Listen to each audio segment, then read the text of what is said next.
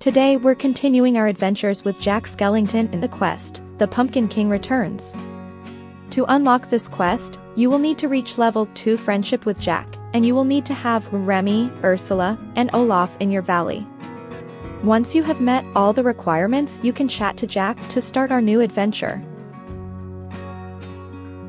Jack has gone around the valley to explore, but it seems he got a bit carried away and has upset some valley friends. He suggests going around and introducing himself to the villagers to try and resolve the issue. First up we'll introduce him to the world's friendliest snowman, Olaf. It looks like Olaf has encountered Jack before and it was not a pleasant experience. Olaf had been given some special chocolate ice cream by Remy and was planning on giving it to Anna. But before he could Jack had started asking what it was and continuously poked the ice cream with his finger.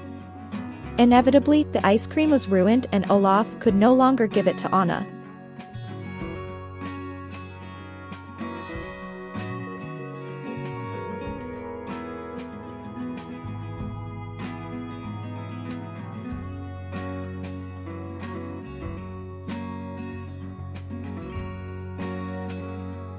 We apologize to Olaf for the bad experience and promise to make him a new batch of chocolate ice cream.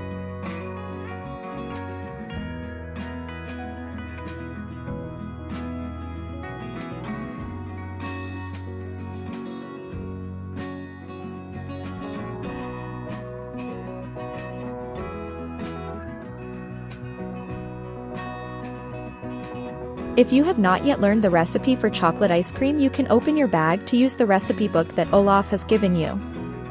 Then we can head over to our nearest stove to cook our special batch of chocolate ice cream for Olaf. You will need the following ingredients. Cocoa beans which can be found in the Glade of Trust and Sunlit Plateau. Sugarcane which you can grow on Dazzle Beach. Then we will need slush ice and milk which we can purchase from Chez Remy. Once we're done cooking we can head back to Olaf to deliver the chocolate ice cream.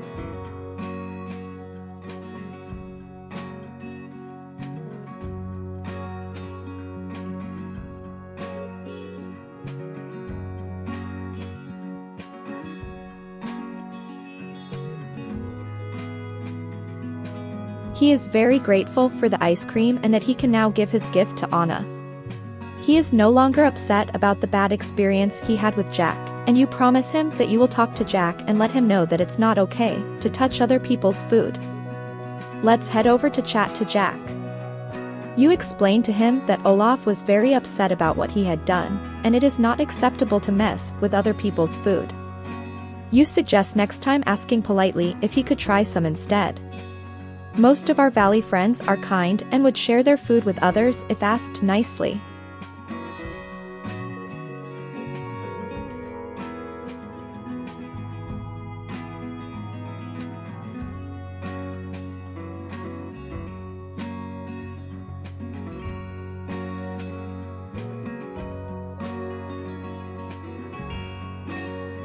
Now that we've put the Olaf mess behind us you suggest continuing our mission to introduce Jack to the other villagers.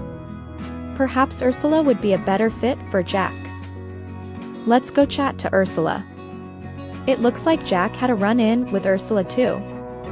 He had shown up at Ursula's home and started rummaging through her potions without asking.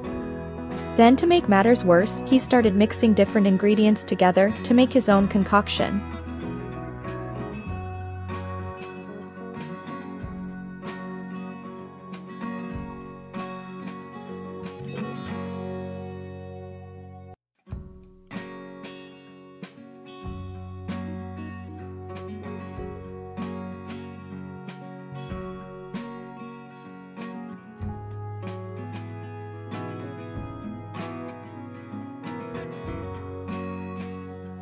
You offer to make things right by collecting the ingredients Ursula would need to replace the potions Jack has ruined.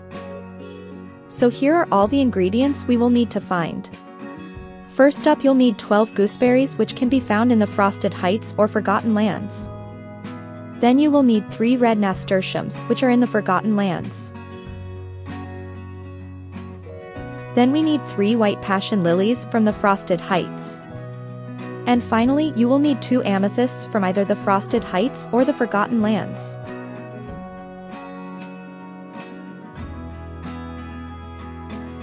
Once you have collected all the ingredients, you can deliver them to Ursula.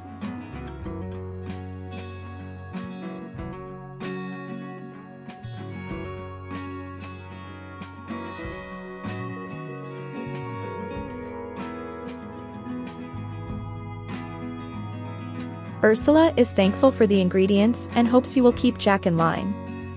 But it seems he has run off again after Ursula had told him about the fairy godmother and her pumpkin house. Jack found this fascinating and ran off to investigate. We'll need to catch up with him and hopefully he hasn't upset another villager. Let's find Jack and chat to him.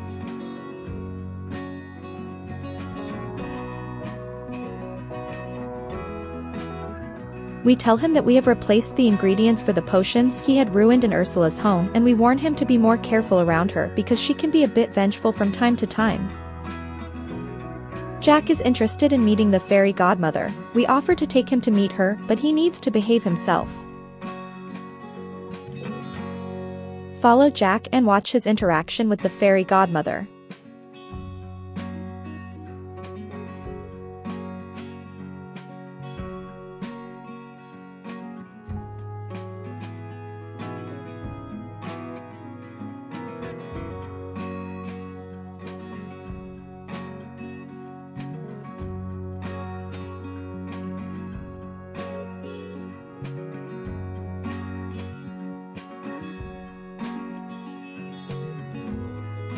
Once you're done watching their interaction you can chat with Jack again.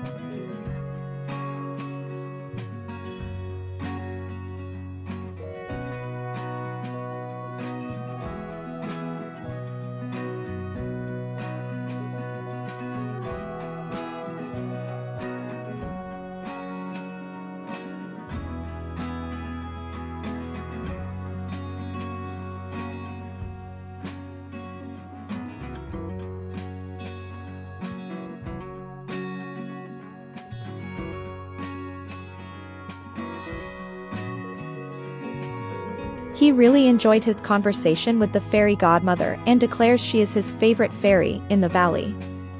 She had given him a design for a pumpkin throne and Jack would like your help to craft this beautiful furniture piece.